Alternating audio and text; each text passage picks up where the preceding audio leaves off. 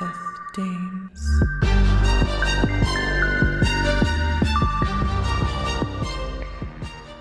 Recording now. Recording. Recording. Yay. Yay. This is exciting. I can't wait for only our moms to listen. It's gonna be great. Yeah. Yeah. It's going to be pretty maybe cool. maybe Brandon and Brad will listen. Yeah. I yeah. Our friends Everyone will probably listen. people we know. we we know Six people. dozens. No, make us sound better. We know Yeah. dozens of people. Dozens of All right. Well, hello everyone. Hi. Hi. Uh, welcome to our first episode. I was going to say inaugural, but I can't pronounce that correctly apparently. So maybe I won't say that. Inaugural. This is a great start. Yes, I can't speak English, the only language I know. Well, welcome to Death Dames. Yeah. Where we kind of pick apart your favorite true crime stories and our favorite true crime stories and uh, really take a look at them from a scientific and, I guess, historical viewpoint. Yeah. Yeah. That's what we do. That's what we do. All right, well, we'll introduce ourselves first, I guess. Uh, my name is Kimberly Baker. I don't know why I said Kimberly. I go by Kim. Everyone calls me Kim, so I'm Kim. I study archaeology and anthropology, and I focus usually on ancient cultures, uh, specifically ancient Egypt, but I've also done work in other fields as well. I also study human culture. Specifically, I've spent a lot of time around the culture of death and death cults. Hi, I'm Ally Newick. I study biology, specifically marine biology, but anything really in the science field is super interesting to me. I like marine mammals, also sharks and skates and rays and that kind too. Now with more But- sharks. Yeah, yeah. No, I really enjoy sharks and like seals and manatees. Manatees are great. But yeah, anything really that has to do with science. I enjoy chemistry a lot. Yeah, I know it's kind of awkward. This feels like an interview. yeah, a little bit. Yeah. a little bit. I mean, I guess it, I guess technically it is. It's the first episode, Yeah, so this is kind of our interview with you, the listener, to see if you uh, like us. Yeah. If we get hired. please like us. Please like us. So we do, you know, we thought it'd be fun to kind of share this with other people and open it up to other people and maybe oh, start debates with people who want to listen to us as well. So we do consider this to be a true crime slash science slash history slash comedy podcast. But the main focus of it is going to be true crime stories or uh, any kind of stories that revolve around death. So, what got us into true crime? I think every day coming home after school and watching either like an episode of CSI or Bones because that was just what was on. Bones, yeah. Bones. Just that kind of interested me in it a little more. I mean, that's just kind of where it started. I would just watch that. I found it was interesting and started doing more research on my own. Yeah, I was goth in high school, still kind of am. so I was always really into um, morbid topics. And even growing up, I was fascinated by the ancient Egyptians who are very death centric. A, a big thing that I would do is like a same sort of thing, though. I would come home, CSI was always like right after dinner.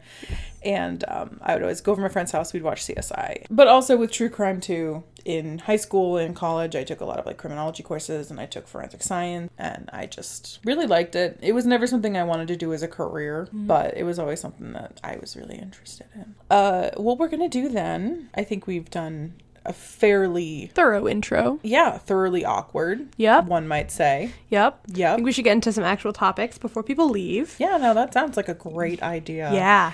Yeah, good idea. Uh, so, Yeah. uh, basically, how this is going to work, I am a storyteller. So, what I'm going to do is tell everyone a story. Are you excited for me to tell you a story? Very excited. I want to know how what you told me to research. Okay, is- yeah, so I didn't explain the rest of it to everyone. So, Allison doesn't know the topic that we'll be talking about.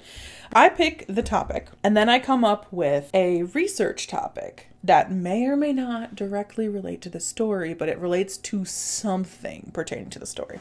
So, for today's episode, for our first episode, I wanted to pick a story that represented us, uh, it has things about it that have to do with us and our family. The research topic I gave Allison was to look into shark bites and shark attacks. Which is my shit. It is her shit. It's gonna take a while in this story okay. for you to figure out what the hell a shark has to do with it. Okay. But we're gonna get there, I promise. Okay. Okay. So what we're gonna talk about, and it's it's a fairly well known story, and you might know it. Uh, it is the story of the Lady of the Dunes. I have never heard of it. No, No. no. All right, cool. Well, the reason that I chose this story is this is an unsolved cold case from Provincetown, Massachusetts. Oh, good. which is in uh, Cape Cod. It's a tip Yep. of Cape Cod. And uh, growing up, our Good old family P-town. spent good old P Town. Uh, growing up, our family spent a lot of time in Cape Cod.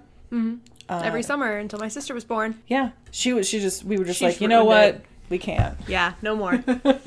No more. no more people can fit in this house. You made too many babies. Yeah. Yeah, so uh so Cape Cod has a pretty it's got good memories for us. So I thought Oh, yeah. let's ruin them with a horrible unsolved murder. So today, 2019, we're going to travel to the 1970s. Ooh, it's Ooh. a great time. It's a great time, a time of rebellion, Mm-hmm. a tumultuous time, yes. a time where pretty much everything was brown or Yep. orange or yellow or like a brownish orangish Orangish yellow color. Yeah. Yeah. Yeah.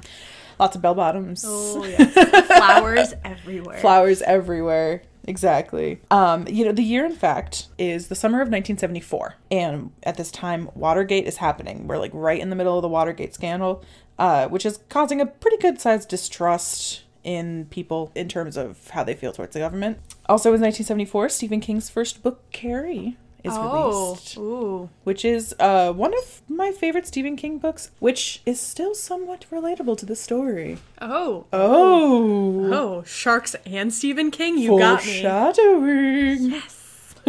We're going to talk about Cape Cod. So, specifically, we're going to talk about Provincetown, Massachusetts. Uh, now, for those of you who aren't locals, we are both Massachusetts locals. We've lived here our whole lives. Um, but for to those of you who don't know the area, uh, Provincetown is located on the tip of Cape Cod. It is surrounded by beautiful beaches, lots of cool places to eat. Uh, All the mini golf you could ever imagine. Cape Cod itself is mini golf mecca, I would say. it's say. amazing. That's where my mini golf career started. your mini golf, your career as a Yes. Oh, mini yes. golf champion. Yeah. Oh Great. yeah. That's I did not know that I was in the presence of mini golf greatness. Uh huh. Oh yeah. Not real golf, just mini golf.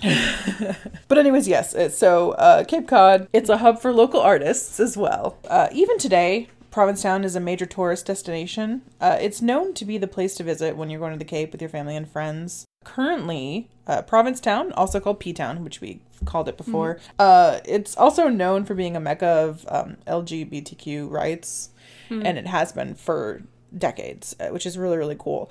It's a very open-minded community, Yes. um, and it's a It's big a good time. It's just you can go out there and everyone's happy and no one's really judgy and Yeah, you can it's just kind not- of be yourself. Yeah, it's not bad. I mean, I know I've gone recently and I feel like it's become a little more touristy. Yeah. Also, funny story, an eight year old me was very convinced that I'd actually seen Cher when I went there when I was a child.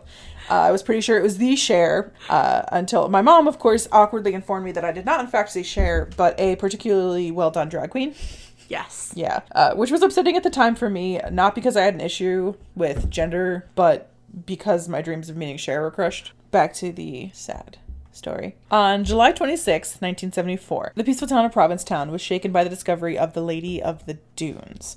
In the Race Point Dunes, which is about a mile east of the Race Point Ranger Station, the nude, decomposed body of a woman was discovered by a teenage girl out walking her dog. The dog was a beagle, by the Oh, way. The dog probably found it. Like, I found it, guys. I found the thing. Did you guys see that? I found Mm-hmm. it. I found it. I found it. Beagles are the loudest dogs ever, too. Oh my So I just feel bad too for that girl because it's like, can you imagine you just discovered a corpse and on top of that you just have like screeching beagle in your ears? Oh, God.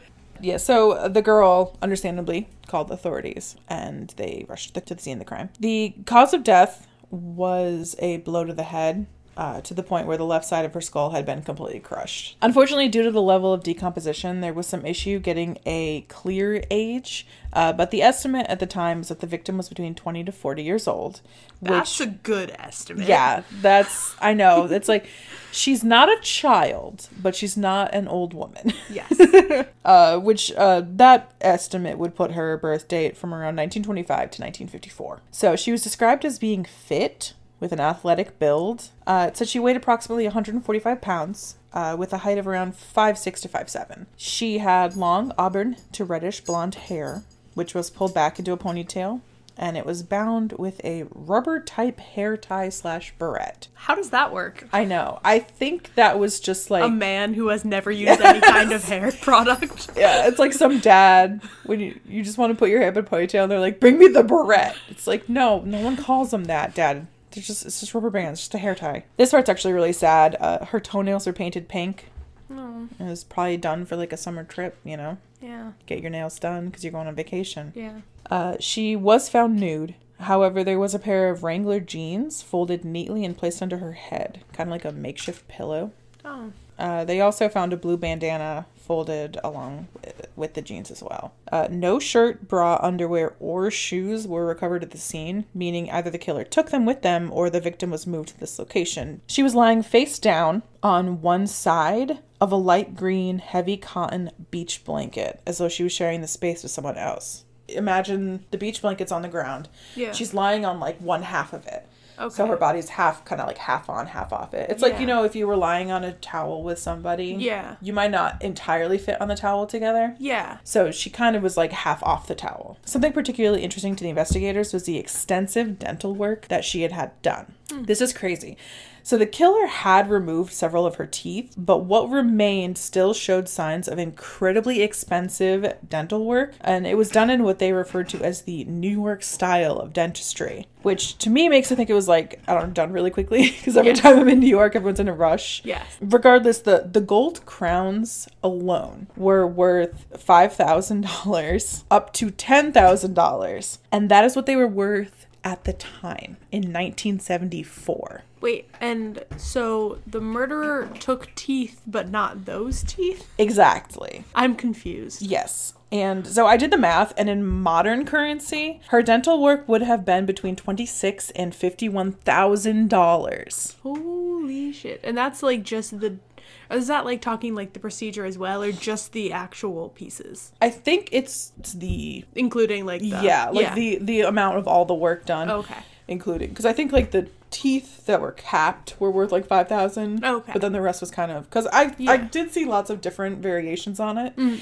saying from between five thousand to ten thousand, so somewhere Yeah, in that yeah. number. But I mean, I mean even still, even if it was only five thousand, that's still twenty six twenty six thousand dollars in current currency. Yeah. That is an astronomical amount of work to get done. I would have never gone to the dentist ever. That's a car. Yeah, that's literally more than my car. Yeah, that's a great deal of work to be done. Which, I mean, it's an insane amount of money for the average consumer.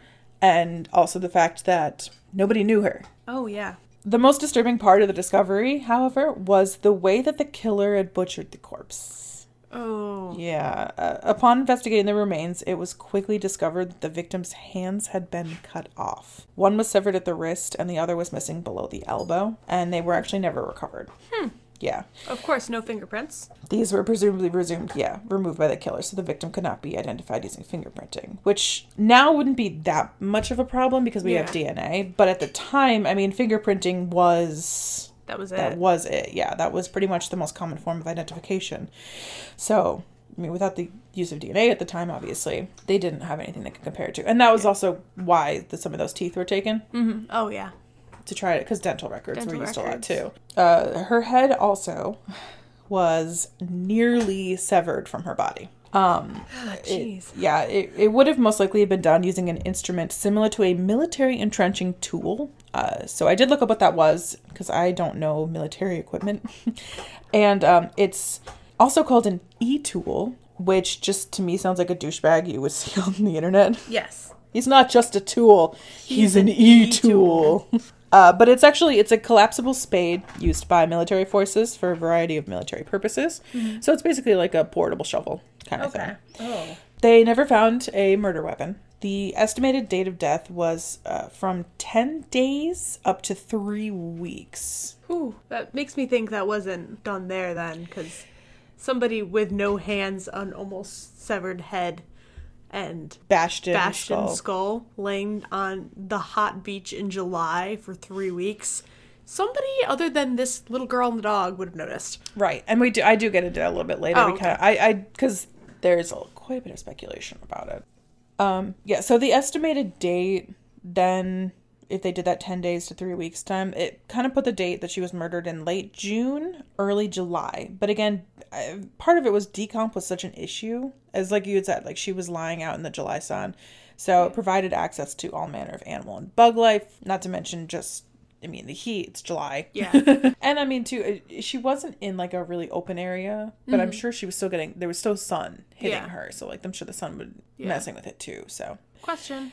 yes. Do you get sunburnt when you're dead? Or does it just start decomposition? I think it just would speed up decomp. Yeah, because it's sunburns and inflammation, so you. Yeah. Well, because sunburn is from blood flow. That's why you turn pink. Okay. It's because there's more blood going to your skin because your skin's burnt. I think. Yeah. I don't actually know. I'm not No, a I don't doctor. No, I don't think you do. Okay, carry yeah, on. that's fine. So this part's kind of rough. Uh, unfortunately, there were signs of sexual abuse, uh, but it appeared post mortem. Oh.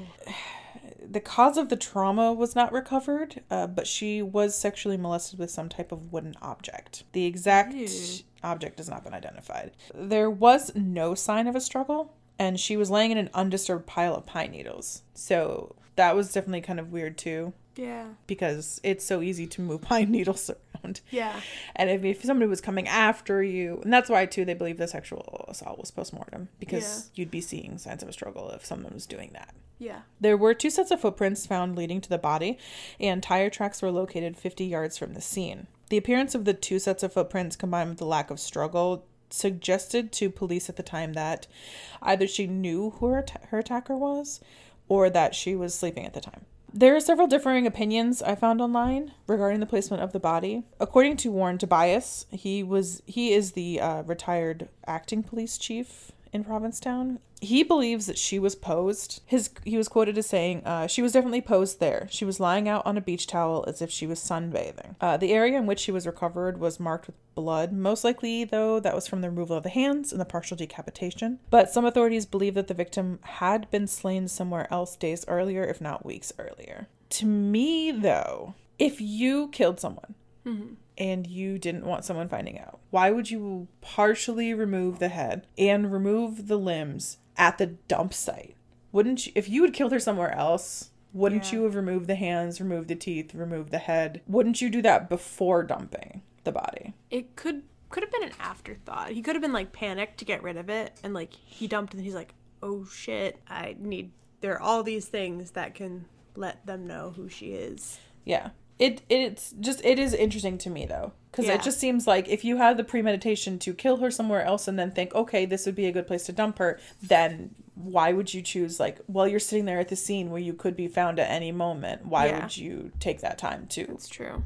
remove incriminating evidence. Her body was left in a scenic, serene area, which was just like a dozen feet from the sand pass people used to explore the coast. So she's in a relatively well traveled area, which personally I think does kind of lead credence to the theory that she was moved, considering the level of decay would suggest that she began decomp elsewhere. Because, like you were saying, Yeah. I mean, it's kind of off the beaten pathish, but I would say not in July. I mean, Yeah. July in There's Cape literally Cod- people everywhere. Yes, and there's lots All of people hiking and walking the dunes. Definitely, there's even like little cabins near those dunes. Yeah. Like if she was just dead and they had her face down with like like and had covered the spot and she wasn't like halfway decapitated, missing hands, right, then maybe people could just think she was sunbathing in a really inconvenient location. But you'd think after the second, like if somebody walks that spot a second time and she still hasn't moved, from where you could see her from where it was being walked, Mm-hmm. she did just kind of look like a person lying down because you didn't see all the messed up. Because yeah. the, the the stumps where her hands were were kind of pushed into the pine needles, Oh, Okay. so it could have looked like she was like just resting her hands in the pine needles. yeah. However, uh, former police chief James Meads, uh, he was the, actually the original investigator of the crime. Uh, he has a different theory. He insists that the body was not dumped but killed where she was found. Uh, he kind of points to the blood at the scene, which uh, he thinks, in his opinion, it was consistent with the murder and the removal of the hands. He also states, uh, whoever did this to her, she went out there with. She was sharing that towel with someone this i mean it does fit with the discovery of the two footprints leading to the scene But that could also just mean that the killer had an accomplice too if they were dumping the bodies. So Yeah. from here, we'll move on kind of to the line of potential identities that have been uh, investigated for the victim. Uh, there have been a couple leads, and we'll start with the one that was considered to be the most promising. Uh, around the time that the victim was found in the dunes, a young woman named Rory Gene Kesinger was involved, along with a group of her friends, in gun running and drug smuggling. And were being chased by federal authorities from Alaska to California to Texas to Kansas Oh. pretty much all the way across the United States. Uh, eventually, though, it led them to Pembroke, Massachusetts. Kesinger and her compatriots were arrested one night in a drug raid in Pembroke, where Kesinger attempted to shoot a police officer. During the process of disarming her, Kesinger was injured by police and was then taken to Jordan Hospital, where she took another officer's gun and tried to shoot the same police officer again. So he tried. She took a police officer's gun and she tried to shoot that police officer, or did she go and find the first police officer that she tried to shoot? I'm guessing both the police officer whose gun she took and the police officer that she had previously pointed a gun at were together. Okay. I don't think she was just like, "Give me your gun. Now where's your friend?" That's what I'm picturing. yeah, so she went after that police officer again, and that police officer probably really wished she'd stayed home that day. Yeah. Yeah. Yeah. But yeah, so uh, Kesinger was apprehended and incarcerated in the Plymouth County Jail, but she escaped with the help of her corrections officer and then was never heard from again. Uh, I wonder af- where she went. Do you get to that? Well, I mean, she's a suspect of the corpse that they found. Oh, yeah. Now, after she escaped, Pembroke police continued pressing drug charges against her compatriots she was apprehended with, but two of them had particularly interesting and disturbing things to say. When questioned about the whereabouts of their co conspirator who had escaped police custody, one of the subs. Sus- one of the subjects, one of the suspects, told police she was, quote, pushing up daisies. Hmm. Yes. Uh, so, for those who don't know, uh, this is actually a folk idiom. It was pretty popular in the time, which referenced the idea that someone will be dead and buried, and is typically used in the future tense. For example, I will be pushing up daisies before this problem is solved, etc. Yeah. Now, it, it could be alluding to the fact that this suspect might have believed that Kesinger was not yet dead, but soon to be. Hmm. Uh, the other person they interrogated said, quote, you'll never find her. Now, to me, this isn't necessarily seem sinister, given the fact that she had just escaped police custody. But, I mean, to the police at the time, too, given the fact that they had thought they had found her remains in Cape Cod, like, it could have Yeah. been perceived as kind of foreshadowy. Mhm. So, not long after Kesinger's escape, the Lady of the Dunes was discovered nearby in Provincetown, Mass. Uh, the body that was discovered matched Kesinger a lot, like, especially in 1970s, she does look a lot like the recreations that were going around at the time. Hmm. She was not actually considered connected to the case until the 1970s or 19- 1990s, though. Oh. Yeah, so at first they didn't even have any idea who Lady of the Dunes could have been. Mhm. Uh, but that changed when Tobias took over for Chief Meads. And he believed, kind of right from the get go, that Kesinger was related to this case. But unfortunately, they only had her fingerprints from when she was arrested. And Well, that's convenient. yeah. And the killer was clearly prepared because no fingerprints could be matched to the handless Lady of the Dunes. They were also unable to get any copies of uh, Kesinger's medical records, so they were not able to get her dental records, which would have resolved things pretty quickly too. She was a gun runner and a drug smuggler. Correct. Money. Right. So it seems kind of, yeah. I mean, if you're doing all these petty crimes, I doubt you're like, let me spend $60,000 on my teeth. You'd probably be like, I don't fucking need teeth. Yeah. I have drugs. I have guns and drugs. yes. But at the time, too, uh, in the 90s, when they kind of started really investigating this Kesinger idea, uh, they couldn't find any of her family members. The most recent address for both sets of parents, for both mm-hmm. her mom or her dad, hadn't been updated since like 1975, 1976. So mm. they didn't have any idea where these people were. And again, ni- early 1990s, pre Facebook. Yes. pre everyone knows where everyone is at all times kind of thing. And I mean, so. if your kid turns out to be a drug or drug smuggler and gun runner, Right. do doing you always want to connect yourself back to that? Right. I mean, especially too if it's a missing person, you might Yeah. like. I mean, I imagine that's probably tough. She clearly wasn't into crime, and Yeah. two, I mean, she could have been estranged from her family too, so they might not Yeah. have even. They wouldn't know. She wouldn't go to Care, them. yeah. Like yeah, like, that's the first place they'd look with her parents. So in 1995. Uh, which is five years after taking over the Ramsey investigation, Tobias was interviewed uh, about the Lady of the Dunes, and during this interview, he stated that he believed he knew the identity of the victim, and even better, had reason to believe that someone living in Provincetown at the time may have been a suspect in the murder. It's a ballsy thing to say. Yeah, bold statement.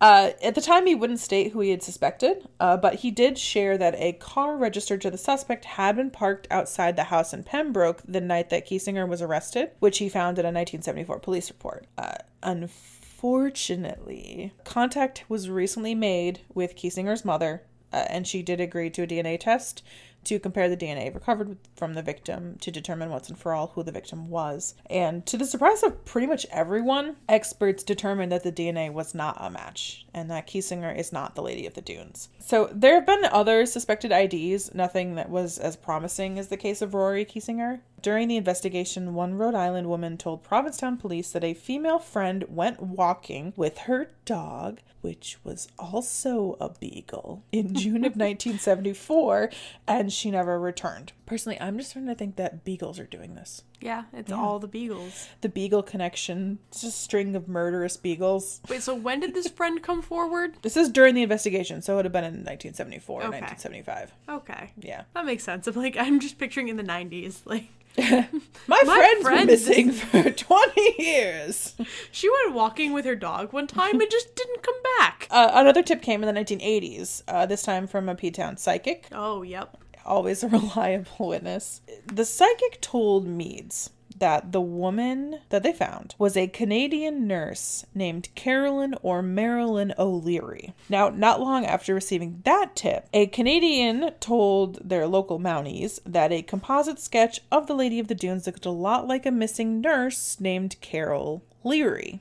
And then another caller in Massachusetts reported an American nurse this time, but also named Carolyn O'Leary, who disappeared in the 1970s. However, in all of these cases, authorities did eventually find the missing women alive and well. In 1987, uh, after there was an update of the story that appeared in the Boston Sunday Globe, a Canadian woman, again, I don't know why it's always Canadians, just Canadians and beagles in this story. A Canadian woman called uh, to say that she had seen her father strangle a woman in Provincetown in the early 1970s and apparently decided to just, like, I don't know, sit on that information. How do you do that? How do you just, yeah. And I then just know how- like grow a think I could live with that. conscience. What the hell? Yeah. I don't know. Maybe it was a repressed memory situation, and then she was like just reading the Boston Sunday Globe and was like, Whoa, "My dad killed that woman." that. But unfortunately, in that case, by the time the authorities in the U.S. learned about this woman's statement, she had moved to Montreal. Uh, investigators did attempt to locate her, but they were never able to find her. Yeah. Okay, so you remember that your father strangled someone, you tell people, Mm-hmm. and then you leave the country unable to be found. Yep. I mean, because of that, they can't really corroborate her claims. It could have just been hearsay. So, Meads had also heard reports in the summer of 1987, and this one was weird. Uh, a Canadian dentist What the fuck? uh, was visiting Provincetown and had a quote more than appropriate interest in the case. I, I don't really know what the hell that means. Dentist. Teeth. Maybe they're in a jar somewhere. Oh. Or maybe he did all of her dental work. Also, Meads did receive a call in 1987 from a woman in Boston who claimed that her sister disappeared in Boston in 1972 and could potentially have been Lady of the Dunes. But uh, as with all these leads, I mean, no dental records could be found or matched to the victim. Uh, so they really don't know if that has anything to do with it either. Unfortunately, former acting police chief Tobias, uh, he thinks that the lady may not have been an American citizen and was from somewhere else completely. Perhaps she was an orphan and maybe she didn't have any family, which Really I mean, expensive dental work. Like, right, and that too, like there was the the New York style of dentistry. yeah. It also like that thought makes this so much more tragic. Yeah, because somebody went on vacation and just never came back. Right. And it's like after all this time, too, somewhere in another country, someone may be missing their daughter, spouse, sister, whatever, Yeah. who went to visit the US and just never came back, and they'll never know. Maybe now because it's more of a global society and we have the internet and everything. At this point, the victim was born in what 1925 to 1954 or something. So her Almost parents are probably all dead. Yeah. The only people who might be left who would recognize her would probably be siblings, and even still, they might not know how to Google Yeah, exactly. or whatever. And then two other names of missing women uh, Frances Ewalt of Montana and Vicki Lamberton of Massachusetts. They've both also been ruled out, but I couldn't find anything else about that. So, well, we don't know who she is, but how about who killed her? We could maybe try. There's been a couple leads that have popped up for that too, and we'll go into those now. First up, there's a potential serial killer who has claimed her as one of his murder victims. Good. Um, currently, there's a man named Hadden Clark. He's serving two consecutive 30 year sentences in Maryland for the murder of 24 year old Laura Houghteling, uh, who was apparently a co worker of his, who he dismembered with the help of his brother. Good. He Family had help. affair. Yeah, it's a family affair. It's just family bonding That's what time. they do on Thursday nights. Some people have trivia night. Some people have game night. They just dismember coworkers. Great. Totally normal. He was also convicted in the murder of six year old Michelle Dorr in mm. 1992. Well behind bars, Clark's been notoriously known for telling stories of more victims that he's claiming. One of his alleged victims, he claimed, was the Lady of the Dunes. Apparently, he had told a cellmate that one of his alternate personalities, a woman named Kristen, best name for a Homicidal alternate personality. yeah, interesting. Uh, he claims that his alternate personality, Kristen, killed the Lady of Dune, uh, the Lady of the Dunes, in 1974, as well as nine-year-old Sarah Pryor in 1985. Now, in 2004, Clark did send a letter to a friend, which I'm sure that friend was stoked to get this letter because in it it contained two drawings one of a handless naked woman sprawled on her stomach, and another of a map pointing to where the body was found. But he had also told investigators that he had killed at least 11 other women and buried some of them on the Cape where he grew up as a child. However, all the searches done by investigators with the information provided to them by Clark have turned up nothing, which leads several investigators, including Tobias, to kind of rule him out as the killer. Um, apparently, he was diagnosed as schizophrenic, so that does sometimes lead to false confessions. I mean, authorities haven't officially ruled Clark out as the person responsible for the murder, but most people in the Provincetown Police Department doubt he was involved. However, he was in the area because in 1974 he was living in P Town and working as a cook at the Moore restaurant, which was the year that the victim was murdered. So, I mean, he was in the area.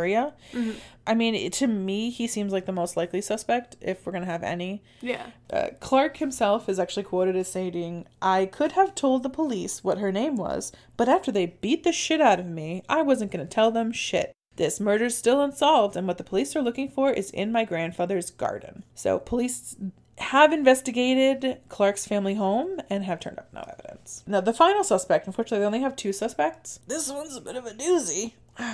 So, this suspect is uh, a celebrity, Oh. big time mob boss, Whitey Bulger. Oh. Uh, apparently, in 2011, an author named Sandra Lee, who incidentally enough is not a character from Grease, Oh. because I was like, wait, Isn't that Sandra Dee? it's Sandra Dee, yeah. But at first I was like, wait, I was so I'm like singing the song in my head. She actually came out with her theory about the Lady of the Dunes, um, based off of her claim that she was in fact the first person to find the lady's remains, but she just never told anyone. How the hell do you do that? Like, Yeah. oh, I found a dead body. I'm gonna keep it to myself. The crime writer claims that she was nine years old when she stumbled upon the corpse, stating, quote, She was in the thick of the brush. It was nothing shy of horrific. It was something I will never forget. So her family camped out at the dune's edge every July in the early 70s, so she was in the area. She says that she held her story inside due to the horror of the event. There is a local teenage girl who's recorded as discovering the body, uh, but Lee claims that she and her sister found the rotting remains first, two days before the police were informed of the murder. She states that she was walking her dog. A beagle. I, actually, she didn't say what her dog was because I was wondering that too. I was like, I bet it's a beagle. goddamn beagle. just, this is me. Just cut to like me doing research for this, and I'm just a Throwing board of just around. beagles and then red string tying all the Yes. beagles together. Yes. What does it mean? It was the beagles. um, How did Uh, they use the shovel?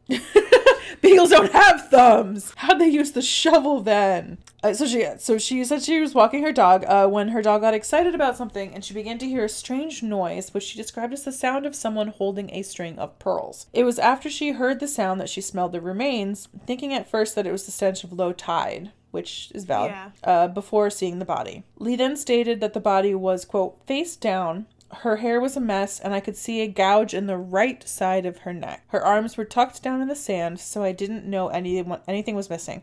I recognized the green blanket right away. The lower half of her body was covered with something. There's already some inconsistencies with that quote. Unless the crime scene was tampered with after Lee discovered it, but before the police arrived at the scene, there was nothing covering the lower half of the victim's body, which Lee stated that she saw. Also, the victim's arms were not in sand, but in like pine needles and other forest debris. Yeah. Lee also states the sound that she heard stayed with her for years, as she realized later that the sound of clicking she heard was not someone playing with a necklace, obviously, uh, but the sound of maggots feasting on the remains. Is it really that audible? So, I'm glad you asked. Because I hate myself, I actually looked up the sound that maggots make when they're eating. It was a very wet, squishing sound. No, no, I'm good. I'm good Yeah. with that actually. Forever. Uh, so, and also, too, I mean, it seems a little unlikely to me that she would have been able to hear that so clearly yeah. before even smelling or seeing the body. Yeah. No. So, like, yes, a, like a large group of maggots definitely does make a sound, but I don't think it would be heard from really far away. Also, while I looked into it, I found a horrible fucking article about a woman who was hearing maggots in her head because they were living in her inner ear. Nope. Stop. Why would Yeah. you do that? Yeah. It's like bot flies. Yes. Bot flies are fucking terrifying. Yeah. It's like, well, that was the worst thing I've seen today. I mean, I do feel kind of bad, like, completely picking apart this woman's story, but it just seemed to me that really kind of suspicious that a crime writer Yeah. started telling people her story around the time she was releasing the book she wrote about the story she was telling people. Yeah. Hmm. So um, I did check out the book uh, online. I wasn't able to get a copy of it because it's like a hundred dollars on Amazon. I Oh, wasn't no gonna buy it, but the reviews on Amazon are are generally unkind. Mm-hmm. Uh, apparently, this book was written more as a work of fiction, and it also makes her story seem a little more fishy to me too. I mean, I could just be, you know, cynical. I haven't talked to her. I didn't Yeah. interview her. Uh, when her book titled "quote The Shanty," uh, it was released, she said, "I wrote about the case in fictional form because technically it's still a pending investigation. It was difficult for me to write because I had to revisit a lot of demons, and I thought I left behind." Uh, so you're probably wondering, what does this have to do with Whitey Bulger? Oh yeah. Yeah.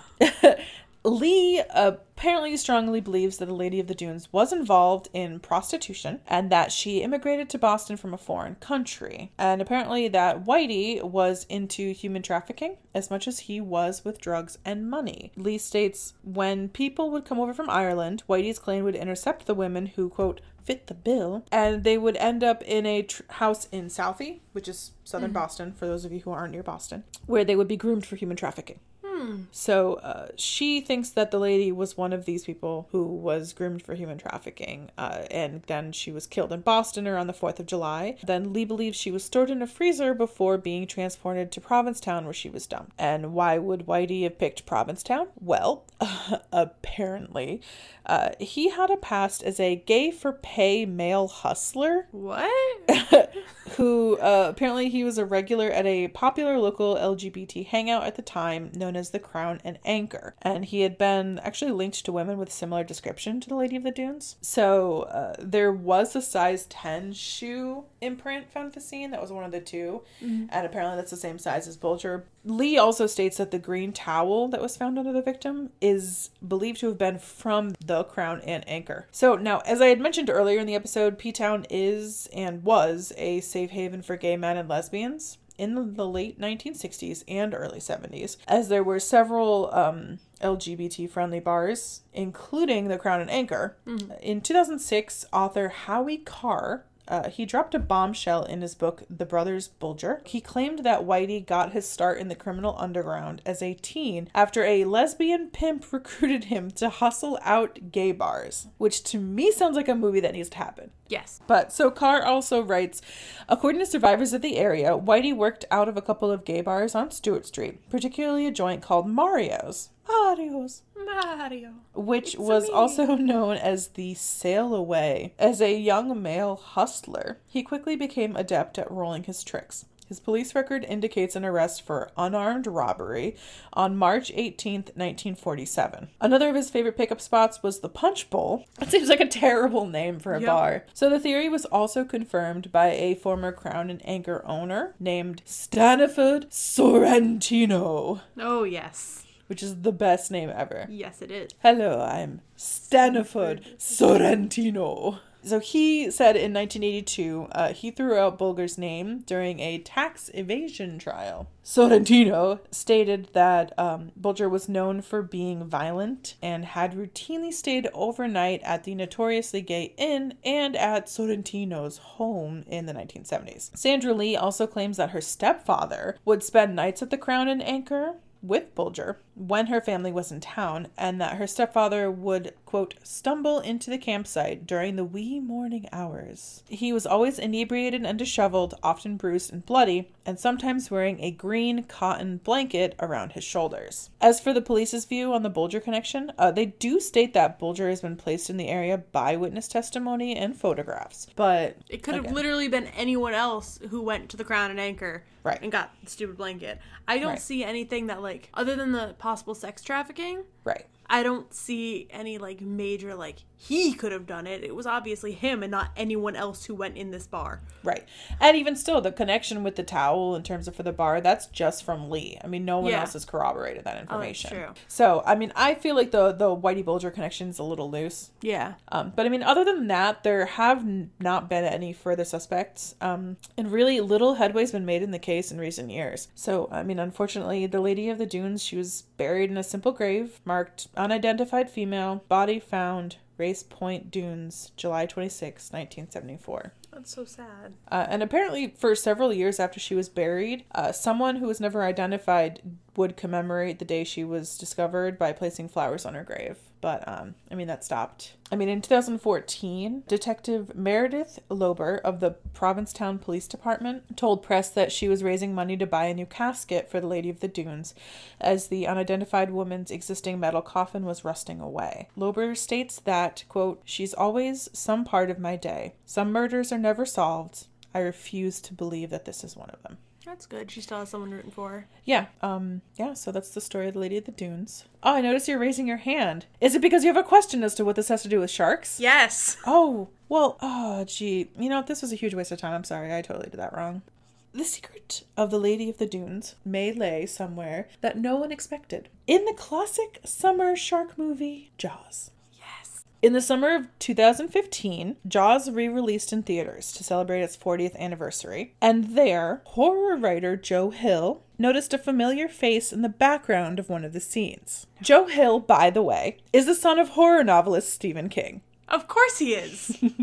who I mentioned briefly earlier in this story. So, Jaws was filmed on Martha's Vineyard. It was filmed in the summer of 1974, oh. the same summer in which the lady was murdered.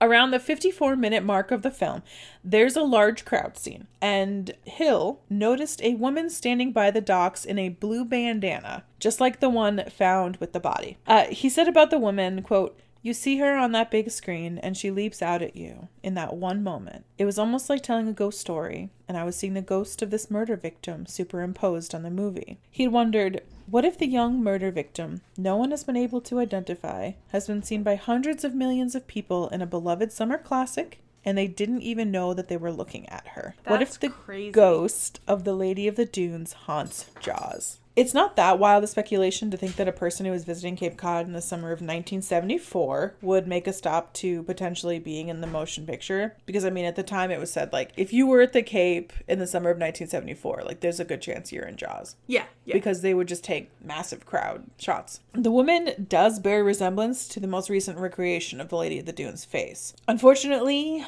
there are no records of extras who appeared in the films due to the mass number of people coming and going on the sets. Um, I mean, but uh, Hill is encouraging anyone who may recognize her from that scene to shed some light on who she could be.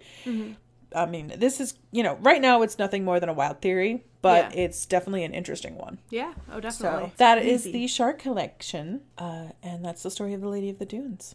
Uh, real quick, I just want to kind of cover about my theories. Mhm. This is just kind of something I thought of randomly because I'm thinking about this case a lot. She was decapitated with an instrument similar to a military entrenching tool.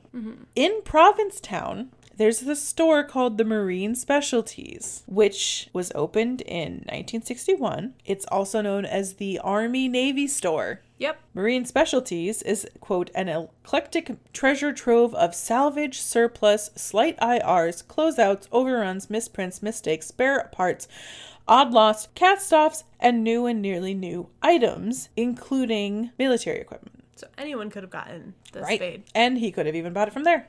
An- Another one, another thing, uh, the state of the body. So, if we're going by the theory that she was murdered at the scene, uh, she would have had to have gone out there with someone and presumably gotten naked with said someone. This is true. Because I, I mean, I, obviously, I've never tried taking clothes off a dead body. Yeah, I can't imagine it's. I'm assuming it's something similar to a child throwing a fit. well, like that's what I With was. less, That's what I was thinking. yeah, is- like more stiff. And it's, I mean, I, I've tried dr- dressing and changing clothes of toddlers and children and stuff, and like when they play dead or don't Yeah. help or whatever, it- it's a lot of effort to do that. Yeah. And we're talking a 60 pound child. Yeah, This is a 145 pound woman. That would have shown in the pine needles yeah, and other debris near the body. Mm-hmm. There's no way that, even with two people, even if it was two people at the scene. So, I mean, I guess again. And like for the pants, they could have cut it off, I guess, but for the pants to be but the pants were intact, exactly. Yeah. And like the fact that they were folded and put under the head, It like- seems like something like you knew them. That seems like something someone who cared about the body would have done. Or if you were lying comfortably naked, it's something you would probably do Yeah, exactly. to put under your head. Mm-hmm. So, I, I mean, I'm going to kind of assume she was alive when she was undressed. Yeah, Um, and I mean, again, like, I don't know a lot about how different things would appear on the body, but I'm wondering if the sexual trauma that was done post mortem with the wooden object could maybe the killer have done that to cover up marks of consensual intercourse? possibly. I don't know if that's even possible. So, like, you know, if you're listening, if you know forensics, please, you know, let us know. Tell us on Twitter, tell us in our email. I mean, it just seems strange given the complete lack of struggle and the way that she was just lounging around nude. Yeah, I'm thinking maybe, like, I mean, maybe she had just had consensual intercourse Mm-hmm. and was just kind of lounging comfortably or sleeping postcoital or whatever. Yeah. That just seemed kind of. Yeah, Because then, like, the other theory they said was that she was sunbathing nude and happened to fall asleep. But, I mean, the area she was found in just seems really weird for both scenarios. yeah. Because, like, nothing about sharp pine needles. Yes. Nope. I'll pass And, on like, that. pokey sticks and stuff. and even, like, for sunbathing, there wasn't a ton of sun in the area. So it's, I mean, I guess it's remote, so you wouldn't have to worry so much Yeah. about somebody stumbling into you. Yeah. But then the other thing that bothers me was the killer, like how he covered his tracks, um, Yeah. with the removal of the hands and the front teeth and the blow to the head. Like it just seems weird the amount of mutilation and the post uh, post mortem. Uh, sexual assault that'd be unlikely that this was his first time killing this true. doesn't seem like Yeah. Like an oh, oopsie, I did this. yeah I was let really me completely angry. mutilate this woman's body it seems like escalation to me Mm-hmm. to, to me it just it just screams serial killer Oh yeah, definitely. I get That. or. I mean, I can kind of see the mob connection too, Mhm. with like the removal of. Wouldn't they have put her in the water though? Isn't that like a mob thing? I don't know That's about my other time thing. period. Is you're next to the ocean where there's a shit ton of sharks. Yeah, Wouldn't it have made more sense to dump the body in the water? Because that would have sped up decomp a bit too. I mean, maybe they were They wanted it to be found where they possibly. put her. Yeah, to me too. It just seems interesting how they even knew to get rid of those identifiers. Yeah. Because like in 1974, there wasn't like CSI. Yeah. Exactly. yeah, there's no true crime boom like there is now. So it would. The average layman wouldn't know a lot about how to identify somebody. yeah. And like the fingerprints maybe, but the teeth probably not so much. I almost wonder if it's like it's either somebody maybe with a criminal background or mm. somebody with connections to law enforcement. Yeah, that too. Why didn't he finish removing the head? Yeah. I'm thinking he got interrupted. Exactly. That's what I was like thinking too. he heard somebody coming and just got out of there. But then I mean no one's come forward saying, "Hey, I heard and or saw and or it's possible but no one's come forward about it." Yeah. Another thing that bothered me too, like why would he take the shoes and the shirt and her underwear, but not the jeans or her bandana. That suggests that she might have been identified with those items. Mm-hmm. So then I'm thinking maybe she wore a uniform, Yep. which again kind of brings that cop theory back. But how would if she was a police officer, they would have identified her? Well, they didn't have fingerprints, didn't have DNA. Oh, they wouldn't have been able to take her DNA to put it in a system. I'm if they thinking didn't like have DNA. no, like I'm thinking she was a police officer in Provincetown. I'm like, no one could be like, hey, that's Cheryl. Right. Oh yeah. Yeah, police officer somewhere else. Okay. yeah. All right. I mean, I was thinking even like maybe like a park ranger or some other government agency too. I mean, I'm Mhm. not, I don't want to be like all conspiracy theory. Yeah. It just seems like a weird trophy to take. Yeah. If you were to take a trophy, why would you take her shirt, her shoes, and her underwear, but not her jeans. but not her jeans? I, I don't know. There must have been some reason to take those items. But yeah, so I mean that's that's just kind of the, some of the theories that I thought were kind of weird. Yeah. So um with that, tell me about sharks. Okay, so I kind of split my research into two different sections on shark attacks in general and then on the physical bite. So obviously, I'm definitely pro shark and I am all for shark rights. Obviously, I'm pro shark. yeah, obviously.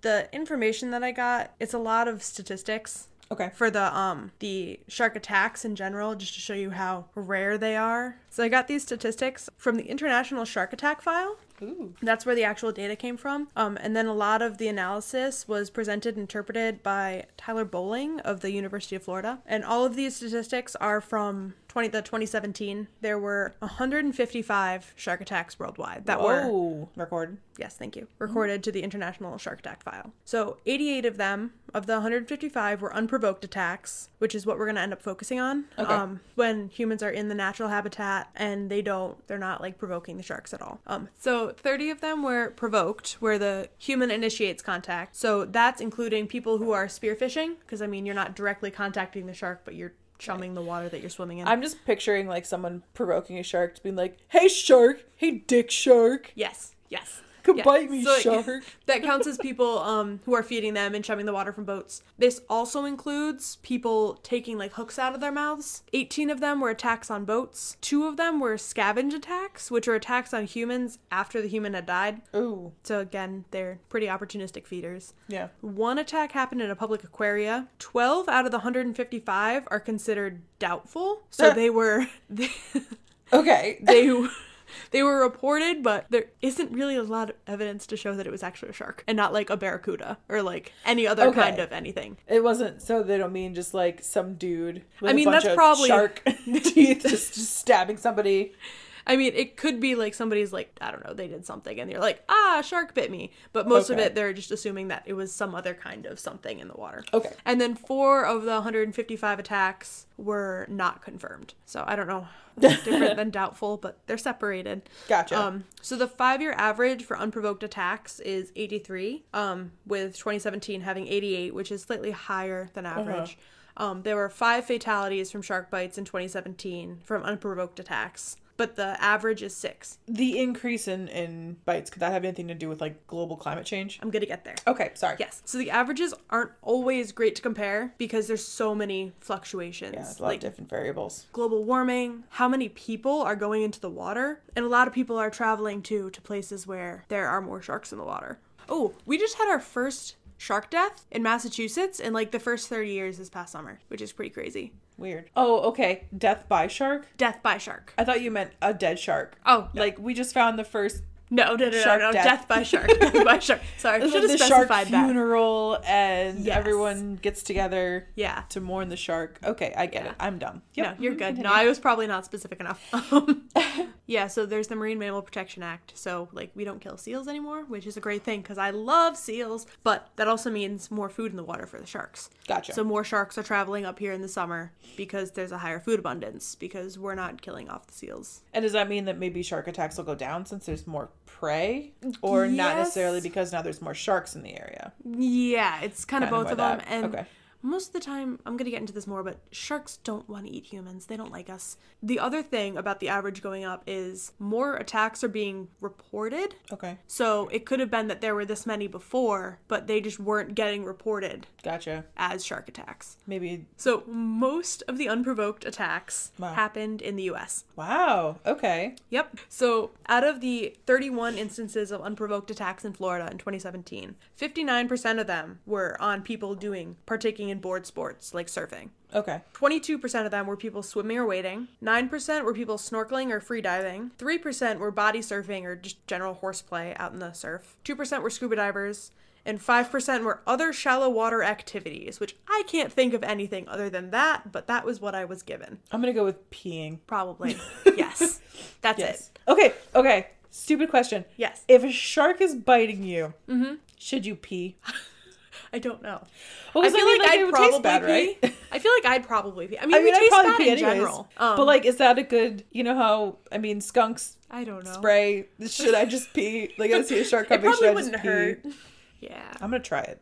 Okay. There's a first shark coming at me. I'm gonna pee. Good. I'm probably gonna do it anyways. Anyways, sorry. Yeah. so the 59% that were partaking in board sports. This could be because the surf zone is highly visited by sharks, so they spend a lot of time there and you're in their area. And then the splashing made by paddling and falling over like falling could they make you very visible. Okay, So like yeah. laying on your surfboard and paddling, hey, you kind of look like a seal. There are three types three like different categories of shark attacks. Okay. So the first is the most common one. It's called a hit and run. So What's that? yeah. So the shark bites you and just leaves and doesn't come back. The Probably. shark just slaps you with his fin and runs away. yes. Just mild sexual harassment. Just Yeah. slaps you in the ass and swims away. that comes later. Oh, okay.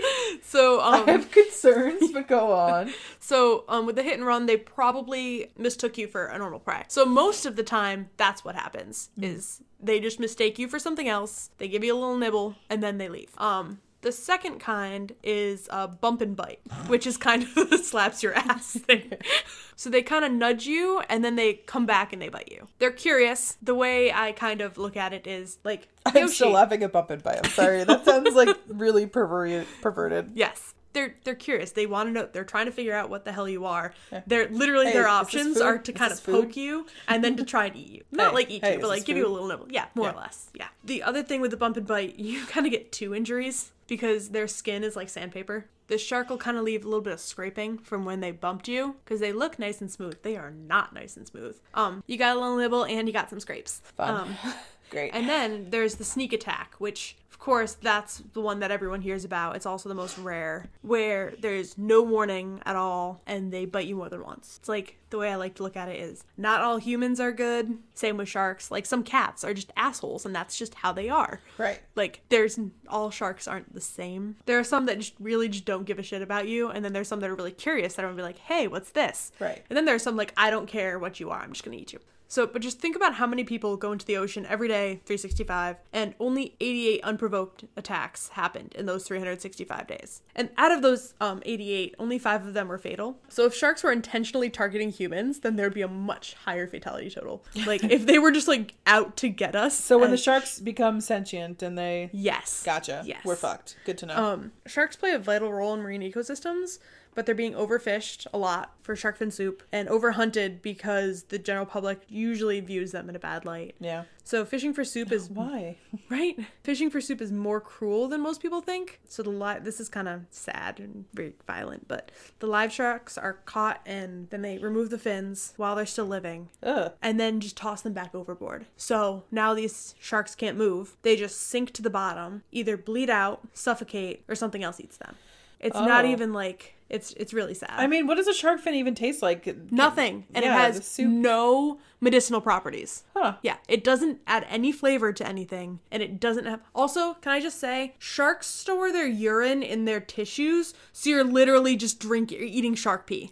That is what you're eating. Oh, so they wouldn't care if I peed. They're they're just pee everywhere Well, in a shark. that's to make sure that their cells have like they don't take on too much water because of the salt content with osmosis. Yeah, gotcha. yeah, they keep. I'm still planning my get away from a shark urine routine. Go ahead, yeah. But anyway, sharks don't attack people for the hell of it, and they really need our conservation efforts more than Yeah. ever. But yeah, so now on to the actual shark bite.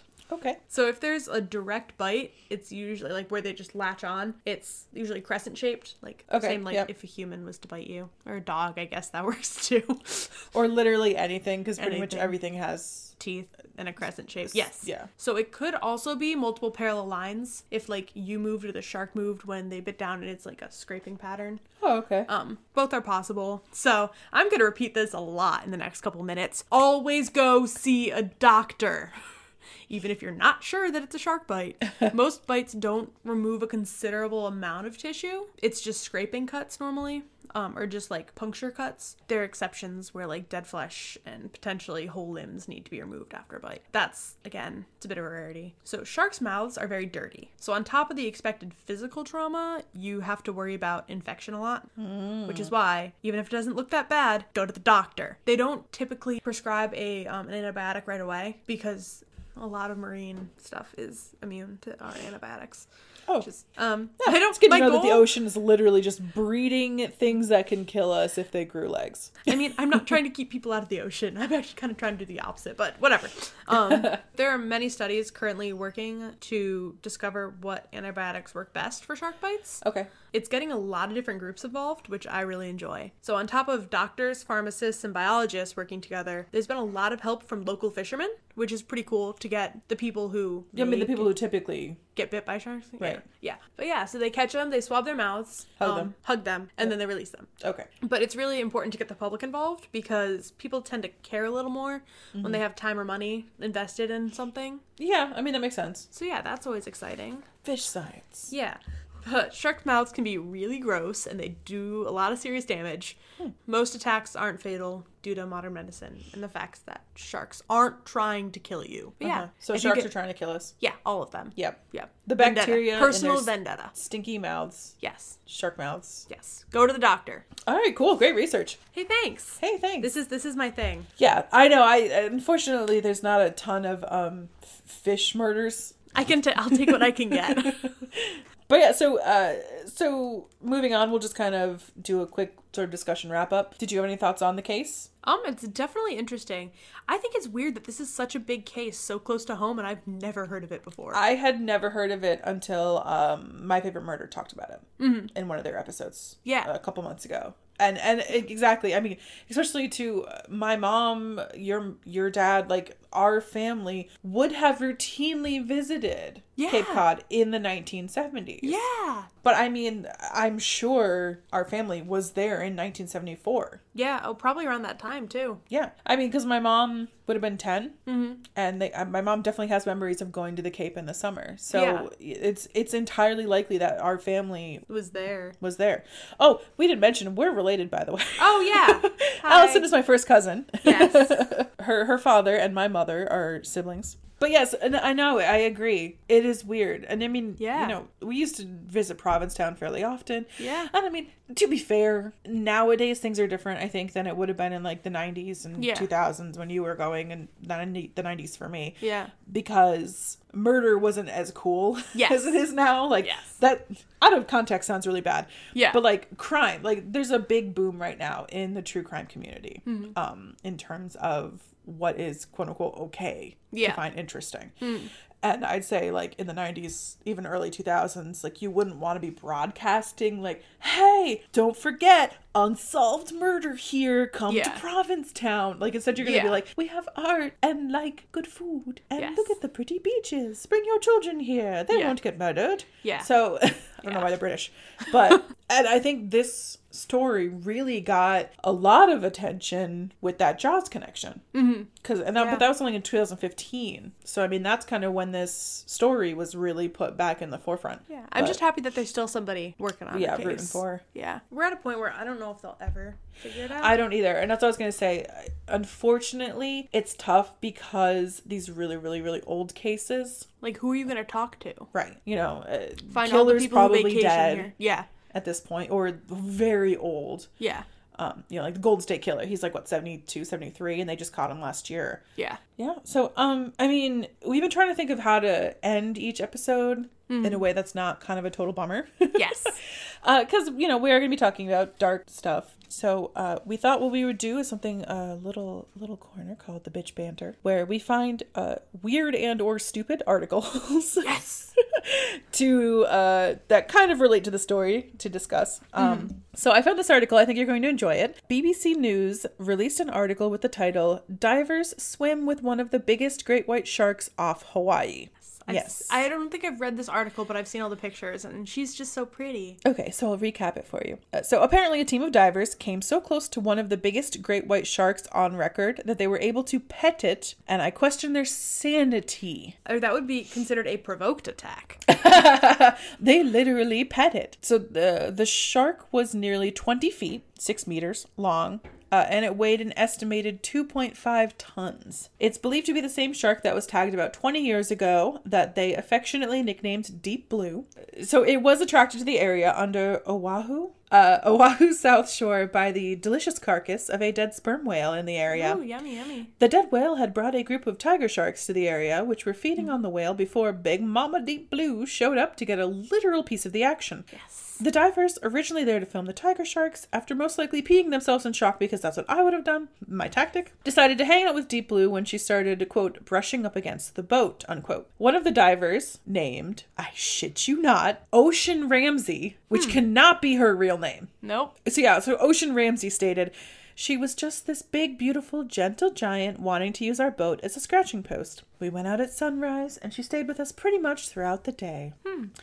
And then, in a quote that I identify with, Ms. Ramsey said the shark was, quote, shockingly wide. But, anyways, great whites are rarely ever seen around Hawaii as they prefer cooler seas. Uh, so, they were kind of surprised to see her there.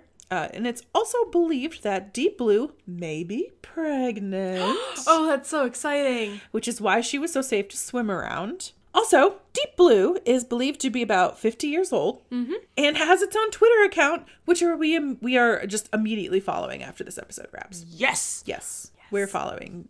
Everyone go follow Deep Blue. Yes. she's pregnant. and She's she's ladies are doing it for themselves. yes. Yeah, so anyways, I hope you enjoyed this. I know it was really really long. Uh our going forward the episodes probably aren't going to be this long. Yes. This is both something that we just both feel really strongly about. Yes. And um obviously, I mean, we'll get better at it as we go. Trial and error. I mean, eh, we've got a bunch of different ways to reach out to us. If you want to talk to us, we are both really down to talk about whatever. Yes. Um, if you want to talk about something we said in the episode, if you have any corrections, if you know, Please be correct nice. us if we say something dumb. Yes, but be nice. Yes. Be nice, about correcting us. or else we'll roast you. yeah, so uh, you know, definitely give us a follow on Twitter. We are at Death Dames Pod. You can give us a follow on Instagram as well. That's at Death Dames Podcast. you know, and then of course you can follow us on our personal Instagram or Twitter accounts. Those are also linked in the bios. Yeah, I mean, share your science, history, or true crime stories at our email. It's deathdamespodcast at gmail.com. And we do want to eventually do uh, listener stories episodes where we can share. So if you have any local true crime stories that happened around you, if you have any sort of cool discoveries that you've made in terms of science or archaeology, history, anything really cool, or just any cool stories you want to share with us about any of those topics, please do. I also accept stories about pets doing weird things. Pictures are appreciated. Yes, send us pictures of your weird pets.